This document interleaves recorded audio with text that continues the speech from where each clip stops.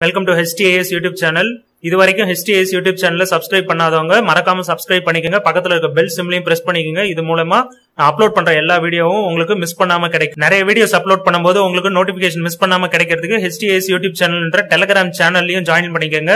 11th standard students வரைக்கும் online classes start பண்ணியாச்சு. Interested students comment பண்ணுங்க. நீங்க ஹெச்டிஎஸ் யூடியூப் சேனலுடைய மெம்பர் ஆயிட்டீங்கன்னா அதன் மூலமா ஆன்லைன் கிளாஸஸ் ஈஸியாக அட்டன் பண்ண முடியும். இந்த ஆன்லைன் கிளாஸ்ல எப்படி ஜாயின் பண்ணணும் எப்படி இந்த சேனலுடைய மெம்பர் ஆகணும் இது சம்பந்தமான எல்லா லிங்க்கும் நான் டிஸ்கிரிப்ஷன்ல கொடுத்துருக்கேன் இந்த வீடியோல 10th standard maths exercise one point ஃபோர்ல ஃபோர்த் செம் பார்க்க போறோம். Show that the function F அதாவது என் டு என் என்னன்னா நேச்சுரல் நம்பர் நேச்சுரல் நம்பர்னா ஒன் டூ த்ரீ ஃபோர் அது மட்டும் கண்டினியூ ஆகிட்டே இருக்கும். ஒன்ல ஆரம்பிக்கும். அதை மட்டும் ஞாபகம் வச்சுங்க. One two three four five six அப்படின்னு கண்டினியூ ஆகிட்டே இருக்கும். ஸோ அதுதான் நேச்சுரல் நம்பர் ரெண்டு செட்டுமே நேச்சுரல் நம்பர்னு கொடுத்துட்டாங்க. அது ஒரு ஃபங்க்ஷன் சொல்லிட்டாங்க. அதை எப்படி டிஃபைன் பண்ணியிருக்காங்கன்னா F of X equal to two X minus one இந்த ஃபங்க்ஷன் வந்து நம்மள என்னவா ஷோ பண்ண சொல்றாங்கன்னா அது என்னன்னு ப்ரூவ் பண்ண சொல்றாங்கன்னா அது ஒன் டு ஒன் ஃபங்க்ஷன் ஆனா but not onto function அது ஆன் டு ஃபங்க்ஷன் கிடையாது. ஆனா one to one function prove பண்ண சொல்றாங்க. ஒன் டு ஒன்னா நம்மளுக்கு தெரியும். அதாவது first set left hand side arrow diagram வரையும் போது ஃபர்ஸ்ட் செட்லயும் அதுல இருந்து செகண்ட் செட்லயும் ஒன் டு ஒன் அதாவது ஒன்னுல இருந்து இன்னொன்னுக்கு மட்டும்தான் போகணும். நெக்ஸ்ட் ஆன் டு கிடையாதுன்னா அதுல ரேஞ்சும் கோடோமைனும் செகண்ட் செட் இருக்குல்ல அதனுடைய ரேஞ்சும் கோடொமைனும் சேம் கிடையாதுன்னு ப்ரூவ் பண்ணும். அவ்வளோதான் பண்ண போகிறோம் இதனுடைய பேசிக்லாம் நம்ம ஏற்கனவே பேசிக் வீடியோவில் பார்த்துட்டோம். அதை பார்க்காதவங்க அதை பார்த்துட்டு இதை பாருங்க இன்னும் ஈஸியாக புரியும்.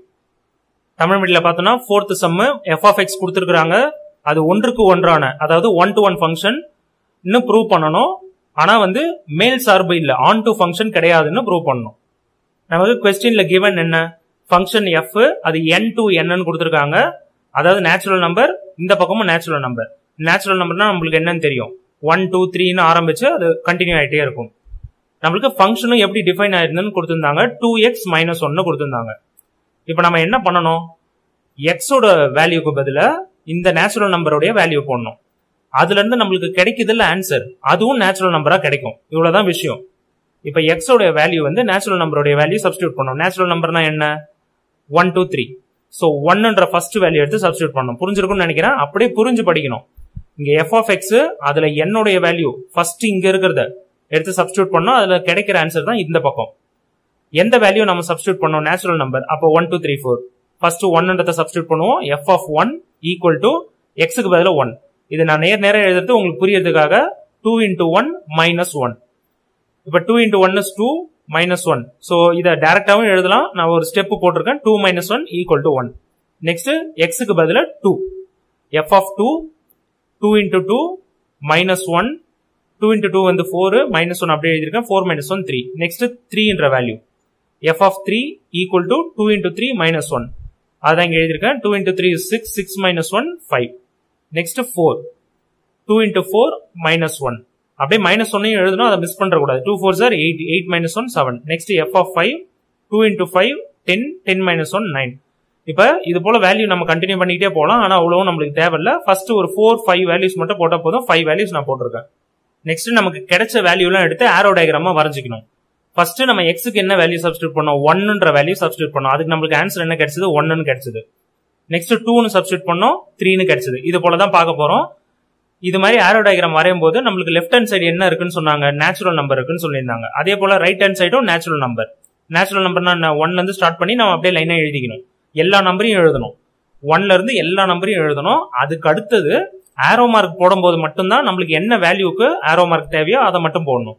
இப்போ ஆரோ மார்க் பார்த்தோம்னா ஃபர்ஸ்ட் எக்ஸுக்கு ஒன்னு சப்ஸ்டியூட் பண்ணா நம்மளுக்கு எஃப் ஆஃப் எக்ஸோட வேல்யூ என்ன கிடைச்சது? ஒன்னு கிடைச்சது. அடுத்து டூனு சப்ஸ்டியூட் பண்ணோம் இங்க மேல இருக்கிறதா சொல்றேன். டூன்னு சப்ஸ்டியூட் பண்ணா த்ரீன்னு கிடைச்சது. த்ரீனு சப்ஸ்டியூட் பண்ணா ஃபைவ்னு கிடைச்சது. நெக்ஸ்ட் ஃபோருக்கு செவன்னு கிடைச்சது. ஃபைவ்க்கு நைனுன்னு கிடைச்சது. அதெல்லாம் மட்டும் ஆரோ மார்க் போட்டிருக்கேன். இங்க டாட் டாட் டாட்னு போட்டிருக்கோம். அது இன்னும் கண்டினியூ ஆகுதுன்னு அர்த்தம். இதுல பார்த்தோம்னா நம்ம என்னன்னு ப்ரூவ் பண்ணோம் one to one function prove பண்ணோமா இங்க இருந்து ஆரோ மார்க் போகுது இல்ல அப்ப வந்து ஒன்னா தான் போகுது.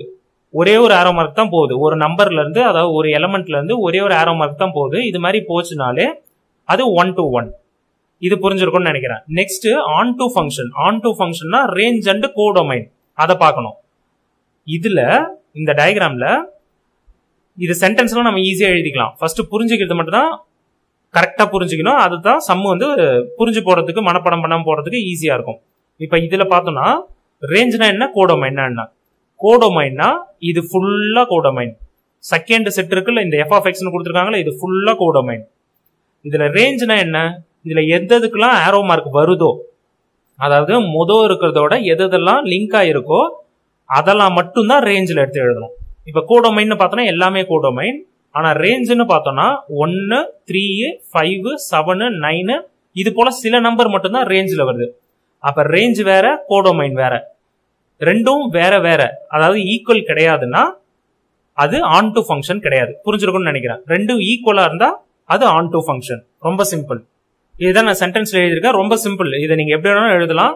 For different elements in X எக்ஸ்ல இந்த பக்கத்துல உள்ளது. Different எலமெண்ட்ஸ்க்கு there are different images in F of X இந்த எஃப் ஆஃப் எக்ஸ்ல இமேஜஸ்ன்றது இமேஜஸ்னா அந்த ஆன்சர் கிடைக்குது இல்ல நம்மளுக்கு ரேஞ்சுன்னு சொல்றோம்ல அதை தான் இமேஜஸ் ஸோ இந்த ஆரோ மார்க் போடும்போது ஃபைவ்க்கு ஹண்ட்ரட் இமேஜ் ஃபோருக்கு செவன் ஹண்ட்ரட் இமேஜ் புரிஞ்சிருக்கும்னு நினைக்கிறேன். ஸோ ஃபார் டிஃப்ரெண்ட் எலமெண்ட்ஸ் எக்ஸில் டிஃப்ரெண்ட் எலமெண்ட்ஸ்க்கு எஃப் ஆஃப் எக்ஸில் டிஃப்ரெண்ட் இமேஜஸ் கிடைக்குது. அப்போ அது போல டிஃப்ரெண்ட் இமேஜஸ் கிடைக்குதுன்னா ஒரு ஆரோ மார்க் நான் ஏற்கனவே சொல்லியிருந்தேன் ஒரு ஆரோ மார்க் மட்டும் தான் இதுல வெளியே போகுதுன்னா அதுக்கு ஒரு இமேஜ் மட்டும் தான் அர்த்தம். இதுவே இந்த ஃபைவ்ல இருந்து ரெண்டு ஆரோ மார்க் போகுதுன்னா அது many to one function so அது வேற மாதிரி. ஸோ இதுல வந்து நம்மளுக்கு ஒன் டு ஒன் தான்.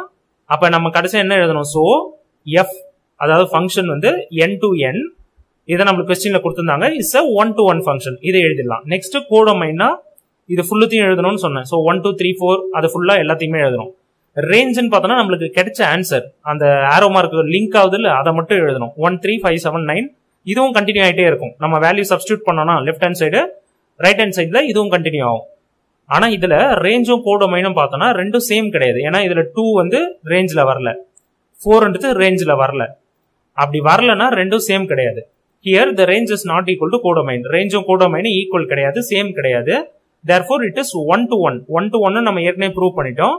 இந்த ஸ்டெப்ல ஆனா ஆன் டு ஃபங்க்ஷன் கிடையாது. ஏன்னா இது ரெண்டும் ஈக்குவல் கிடையாது. புரிஞ்சிருக்கும்னு நினைக்கிறேன். இது அப்படியே ஸ்டெப்பாகவும் சொல்லிட்டேன். இதை நீங்க புரிஞ்சுக்கிட்டீங்கன்னா போதும். சென்டென்ஸ் எப்படி வேணாலும் எழுதலாம். இங்க இருக்கிற மாதிரி தான் எழுதணும்னு அவசியம் கிடையாது.